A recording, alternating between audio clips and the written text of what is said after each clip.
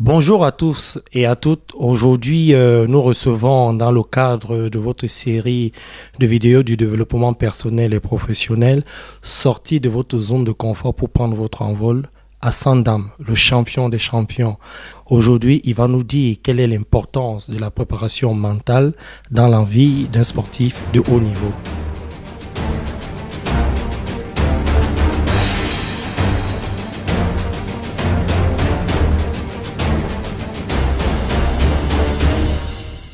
Bonjour Hassan Dam. Bonjour.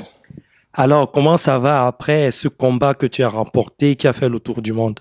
Bah, je vais très bien et euh, je me sens bien. Ma, carrière reprend un envol et euh, après beaucoup de d'embûches.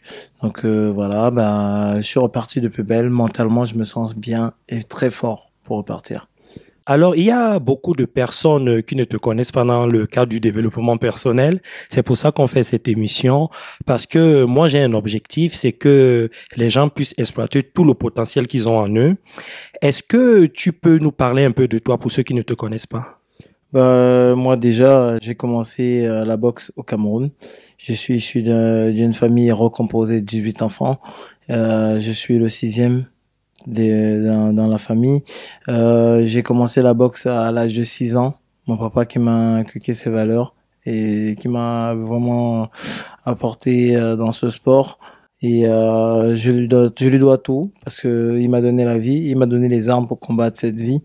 Et euh, j'ai fait trois fois champion d'Afrique étant au Cameroun toute ma carrière amateur. J'ai été aux Jeux Olympiques à Athènes en 2004. J'ai fait quart de finaliste, battu par le champion olympique. Et euh, après, je suis arrivé en France. Ça n'a pas été facile, c'était très difficile même, je dirais. Pendant quatre ans, j'ai vécu euh, des hauts et des bas. J'ai jamais lâché parce que je me suis dit euh, j'avais du potentiel. J'ai toujours cru en moi, cru en mon potentiel. J'étais vulnérable pour passer à côté parce qu'on m'a proposé des choses euh, malsaines que j'ai déclinées, j'ai refusé parce que je suis venu en France pour quelque chose et j'avais un objectif et c'était de réussir dans ce sport et j'ai jamais lâché malgré tout ce que j'ai vécu et, euh, des hauts et des bas. J'ai gardé le cap. C'est en 2008 que j'ai commencé à percer parce que j'ai gagné le grand tournoi des points moyens et euh, derrière ça, j'étais classé mondialement. J'étais champion du monde en 2010, défendu mon titre en 2011. J'ai regagné un championnat du monde de WBO en 2012 que j'ai perdu derrière. Il a fallu que je me je remonte mentalement pour pouvoir regagner, refaire un championnat du monde en 2015 que j'ai reperdu. Ça a été très dur mentalement pour moi parce que à ce niveau-là, on subit beaucoup de de, de, de choses mentalement. Les gens, ils, des, gens nous critiquent et, euh, et donc après on perd souvent la confiance en soi. Mais j'ai su remonter ces choses-là grâce à grâce au mental grâce à beaucoup de choses, à ma famille. Je me suis appuyé sur beaucoup de points pour pouvoir remonter. Et voilà qu'en 2016, en décembre 2016, je redeviens champion du monde. Et je peux dire, j'ai cloué le bec de beaucoup de personnes qui ne croyaient plus et qui m'ont critiqué. Entre Sanendam face à Alfonso Blanco.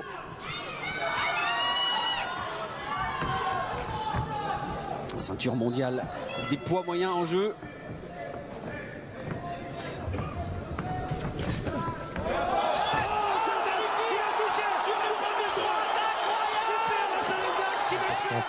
Alors, Hassan, euh, comment l'effet d'avoir un préparateur mental Est-ce que tu étais plus en confiance? Est-ce que euh, tu, tu doutais quand même de toi? Est-ce que tu avais des peurs? Raconte-nous comment ça se passait à l'intérieur de toi. Au départ, au départ déjà, euh, tu sais, on avait discuté. On... J'étais un peu sceptique dans le, la préparation mentale. Et tu as réussi à me convaincre dans, dans, dans ce choix de pouvoir traverser un cap en, en, apportant ce plus dans ta carrière. Parce que j'ai de l'expérience au niveau entraînement, j'ai un préparateur physique, j'ai un préparateur technique, mais le fait d'avoir apporté un préparateur mental a fait de moi un plus. Quand on arrive à un certain niveau mondial, on a pratiquement le même on a le même niveau, on a le même, on est pareil entre adversaires. Mais c'est le petit détail qui dépasse, qui qu'on a, c'est ce petit détail là qui fait la différence. Et ce petit détail, je pense que c'est ça qui m'a permis de prendre ce titre à mon adversaire parce qu'il était, c'est un boxeur. Il faut savoir, il était très bon. Il avait 300 combats, donc j'avais quand même des doutes sur moi. parce que j'ai rencontré un gars qui était très bon, qui arrive avec son titre de champion du monde, donc il s'est préparé. Il va se préparer autant que moi, voire plus. J'ai dit, il faudrait que je prenne quelque chose, que je me mette dans une, dans, dans un objectif, dans, dans un optimisme qui soit plus que le fait de, s'entraîner.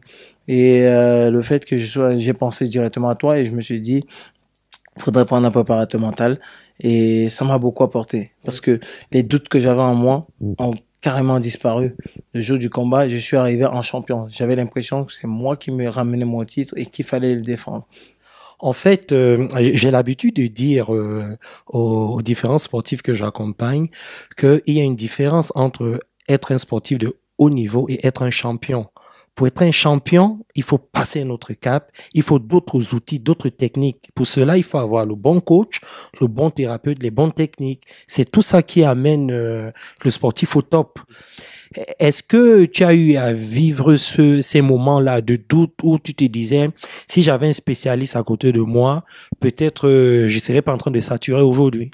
Je pense que j'ai vécu beaucoup de moments de doute et euh, j'ai saturé et si je dis vraiment, si j'avais quelqu'un autour, autour de moi, si j'avais cru, parce que il faut le dire, il faut dire la vérité. J'avais pas cru à, ça à ce moment-là parce qu'on m'a proposé, on m'a dit va voir telle personne, un préparateur mental, il va t'aider. Et euh, si j'avais cru à, à, ça à ce moment, je pense que j'aurais facilement repris euh, repris le moral le dessus et je pense que je serais redevenu plus vite champion du monde mais ça a mis beaucoup de temps à ce que, pour, pour que je comprenne. Et comme on dit, n'est jamais trop tard. Et au moment où j'ai fait appel à un préparateur mental, bah, on a vu les résultats. Donc, je pense que c'est super important. Et ça m'a freiné.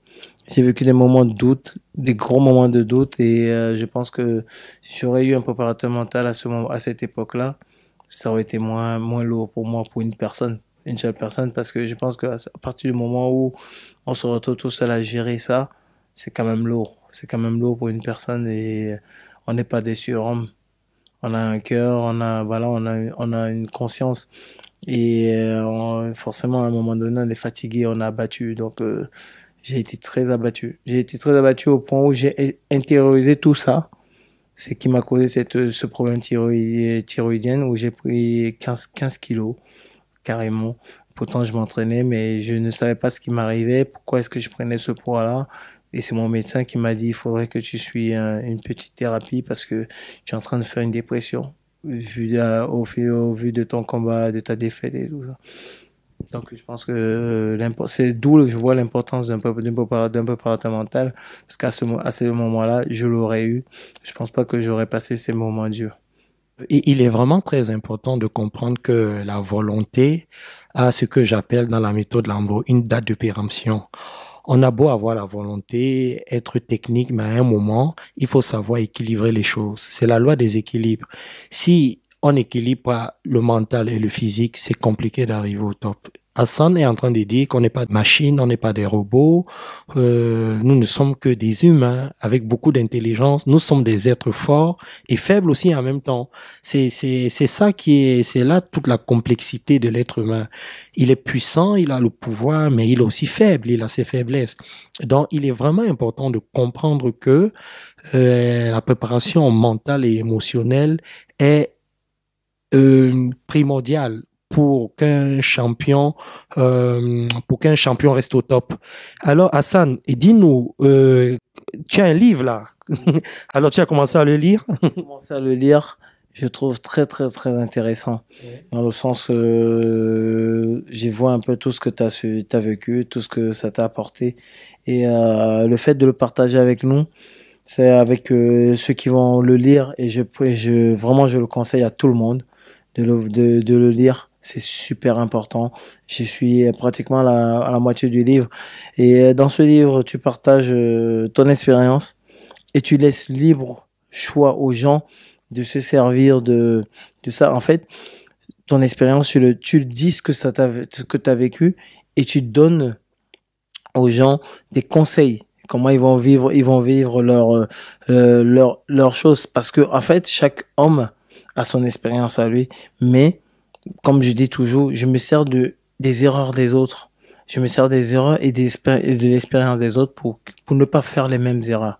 Et franchement, je le trouve super sympa ton livre parce que il est fait en deux parties à chaque fois et euh, et euh, c'est magnifique, c'est vraiment magnifique. Je, et comme je dis, je le conseille à tout le monde et je vais finir je vais le finir parce tu, que. Tu vas le lire dans l'avion. J'ai commencé à le lire dans l'avion et là maintenant, euh, dès que j'ai un moment posé, je le lis. Euh, ça m'apporte beaucoup, ça va m'apporter, je pense aussi. Euh, c'est ton expérience et, euh, et les conseils, je vais le prendre. Ah, alors, on va commencer à travailler ensemble en entreprise pour coacher les chefs d'entreprise, les managers et tout ça. Et euh, comment est-ce que tu prévois tout ça dans ta tête, mentalement? Comment tu te sens? Ben, je reste naturel. Tout simplement parce que ça va être un travail naturel. Ce sera un apport, ce sera un partage, un partage de mon expérience, un partage des, des, des moments que j'ai vécu dans la vie. Je pense que ça apportera à ces, à ces personnes intelligentes parce que c'est on va on va quand même travailler avec des, hommes avec des personnes. Et je pense qu'ils seront intelligents de prendre nos, expériences et nos conseils. Alors aujourd'hui nous avons reçu Assandam euh, vous avez vu il nous a parlé de l'importance de la préparation mentale et émotionnelle dans la vie d'un sportif de haut niveau. Euh, ce qu'il faut surtout retenir euh, euh, de cette interview, c'est qu'il faut croire en soi, que tout, tout le monde a des capacités d'atteindre ses objectifs, de trouver des solutions à ses problèmes. Mais il faut être outillé. Nous sommes des êtres humains, nous avons nos forces, nos faiblesses. Euh, et il y a dans la vie des opportunités qui peuvent se présenter. Il faut avoir des outils pour pouvoir les saisir. Il y a aussi des menaces. Il y a aussi des menaces. Ces menaces-là, parfois, nous affaiblissent, euh, nous font douter de nous. Euh, ces menaces, ça peut être des hommes comme nous, ça peut être des événements, des situations qui se présentent. Euh, mais quand on est outillé, quand on est bien accompagné, on s'en sort. Ça sort. Et ça, c'est, c'est quelque chose que je viens d'apprendre. C'est quelque chose, on, peut pas s'en sortir tout seul. On peut pas, même si on est très fort, on peut pas, on est des êtres humains et on peut pas, on peut pas s'en sortir tout seul. On a besoin de se, de, moi j'appelle ça, euh, s'armer. On a besoin de s'armer des personnes euh, compétentes. Et, euh, et ces personnes compétentes, c'est l'entourage qu'on a. Et, euh, et l'entourage qu'on a, il faut vraiment trouver les bonnes personnes. Les bonnes personnes euh, dans le cadre de travail, c'est d'avoir des, des personnes qui vont nous suivre, des préparateurs qui vont nous suivre euh, durant tout, le, tout notre parcours pour atteindre notre objectif ces personnes, c'est dans le dans le cadre du sport, c'est préparateur physique, préparateur technique, préparateur mental qui vont nous permettre d'atteindre des objectifs bien précis. Donc, je pense que il faut vraiment s'entourer et euh, l'entourage est super important. Alors, euh, vous qui suivez l'EFA, vous euh, qui suivez la méthode Lambo, si vous avez si vous avez envie de sortir de votre zone de confort pour prendre votre envol, euh, likez sur la page Brian Lambo EFA Coaching, abonnez-vous sur notre chaîne YouTube. Euh, c'est pas le lien va s'afficher quelque part là sur l'écran et euh, vous aurez d'autres vidéos comme ça. Hassan, Hassan Ndame et moi nous sommes ensemble. Je suis son préparateur mental. Il y a, on a beaucoup de projets. Euh, c'est ça, on a beaucoup de projets. Je sais plus. on a beaucoup. Ouais. À travers, à travers les les les artistes, musiciens, acteurs et euh, personnes d'entreprise on a beaucoup de projets de ce côté-là. On a beaucoup de projets avec les sportifs. Une grande conférence. Une grande conférence qui va se passer à Levallois. Donc euh, voilà, ben, suivez juste euh, la page euh, Brian Lambeau EFA et vous et coaching et vous verrez, vous aurez toutes les infos. Donc voilà, ben, le lien s'affichera sur la vidéo. Donc n'hésitez pas d'aller jeter un coup d'œil.